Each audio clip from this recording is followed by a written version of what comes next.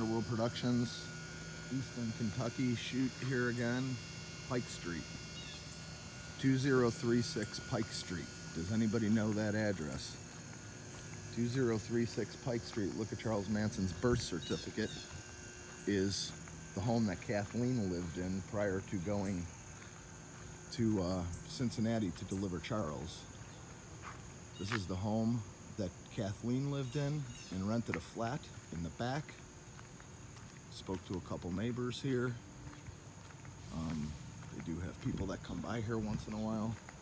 But uh, this is confirmed. It is on Charlie's birth certificate.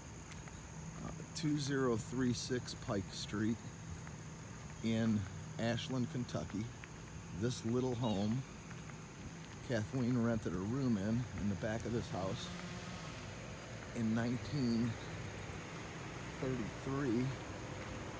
Her parents lived right up the street on Hilton Street, and we're going to go there in a couple minutes. But this is a home that's never been seen before. This is where Kathleen lived back in those rooms prior to uh, delivering Charles. She was shipped to Cincinnati by her parents who lived right down the road, down Woodland.